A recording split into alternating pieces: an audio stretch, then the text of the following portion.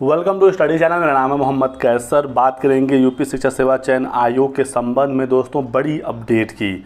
बिल्कुल दोस्तों, ऑफिशियल जानकारी मिल चुकी है, जो संशोधित ड्राफ्ट था, वो मुख्यमंत्री के पास पहुँच चुका है और जैसे ही शासन की तरफ़ से इसे मंजूरी मिलती है, उसके बाद फिर नया आयोग गठित हो जाएगा। मैंने आपको कुछ दिन पहले बताया था, अभी दो तीन दिन पहले, कि संशोधित ड्राफ्ट सीएम ऑफ़िस पहुँच गया है और आज वो खबर यहाँ से पक्की हो जाती है। देख लीजिए, प्रयागराज में शिक्षा सेवा आयोग के मुख्यालय का प्रस्ताव है, ये भी जानकारी मिल गई है। जो पहली नियमावली आई थी 2019 में, उसमें प्रस्ताव मुख्यालय का प्रयागराज में ही था, लेकिन बाद में कुछ खबर निकल कर आएँ कि इसे लखनऊ शिफ्ट किया जा रहा है। तो उसका काफ़ी विरोध भी हुआ था। अब फाइनली जो संशोधित ड्राफ्ट है, उसमें भी मुख्यालय का प्रस्ताव प्रयागराज में भी है तो छात्रों को इसको लेकर काफ़ी संतोष है।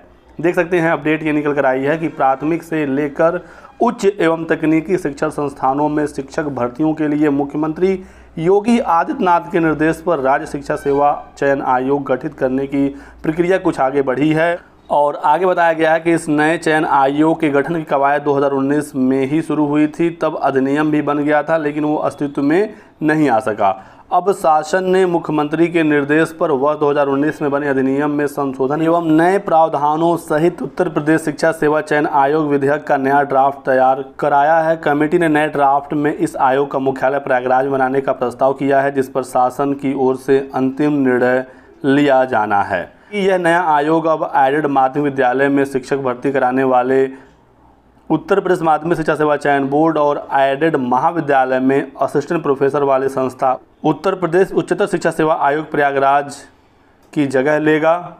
तो प्राथमिक शिक्षक भर्ती जो अभी तक पीएनपी करा रहा था, माध्यमिक की भर्ती टीजीटी, पीजीटी उत्तर प्रदेश माध्यमिक शिक्षा सेवा चयन बोर्ड से होती थी। वहीं पर असिस्टेंट प्रोफेसर की भर्ती उच्चतर शिक्षा सेवा आयोग से हो रही थी। ये सभी भर्तियाँ अब नए आयोग से होंगी।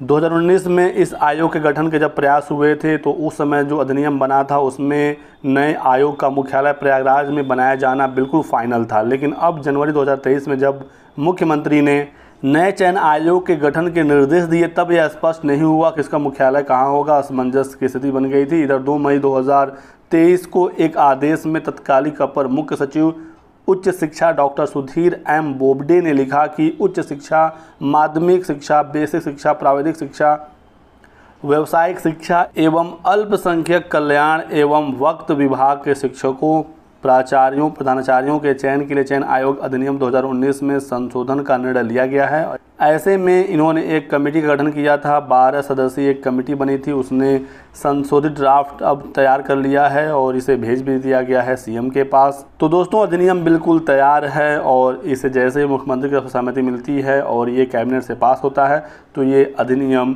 कानून बन जाएगा। शासन को फैसला लेना है कि इस अधिनियम को उन्हें पास करना है या फिर से कुछ संशोधन के लिए वापस भेज देना है। जो भी अपडेट होगी, सूचना आपको दिया जाएगा। उम्मीद है इस बार नया अधिनियम पास होगा और नए आयोग का गठन जल्द होगा। चूँकि असिस्टेंट प्रोफेसर भर्ती का मामला चला गया है हाईकोर्ट में, अभी तेईस मई को इस मामले की सुनवाई थी। सरकार से एफिडेविट मांगा गया था, लेकिन कोई भी एफिडेविट नहीं सौंपा गया।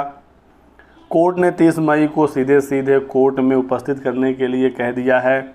जवाब देना होगा उच्चतर को कि आखिर वो परीक्षाएँ क्यों नहीं करा रहे हैं? चूँकि इससे पहले सुनवाइयों में ये कहा गया था कि नए आयोग का गठन हो रहा है। प्रस्ताव तैयार है तो कोर्ट ने कहा कि एक प्रस्ताव के आधार पर आप सभी भर्तियों को नहीं रोक सकते जब तक कि ये कानून का रूप नहीं ले लेता है। सिर्फ़ एक प्रस्ताव है नए आयोग का और पुराने जो आयोग हैं, चाहे वो माध्यमिक हो, टीजीटी, पीजीटी की जो परीक्षा कराता है, या फिर उच्चतर हो असिस्टेंट प्रोफेसर वाली संस्था, ये तो आज भी अस्तित्व में है ही। ये कानून आज भी लागू है। तो पुरानी परीक्षाओं को पुराने आयोगों से कराया जाए, यदि नए आयोग में समय लग रहा है तो ऐसे में अब नए आयोग के गठन पर कार्रवाई तेज़ देखने को मिल सकती है, क्योंकि सरकार पुराने आयोग को बहाल करने के बिल्कुल भी मूड में नहीं है। सरकार की पूरी कोशिश है, जो भी लंबित परीक्षाएँ हैं, वो नए आयोग से ही हों। तो ये रही आज की वीडियो। में कुछ महत्वपूर्ण अपडेट वीडियो को लाइक ज़रूर करें चैनल को सब्सक्राइब करके बेल आइकन दबा लीजिए ताकि आपको इसी प्रकार की सभी लेटेस्ट और ऑथेंटिक इन्फॉर्मेशन मिलती रहे। Thanks for watching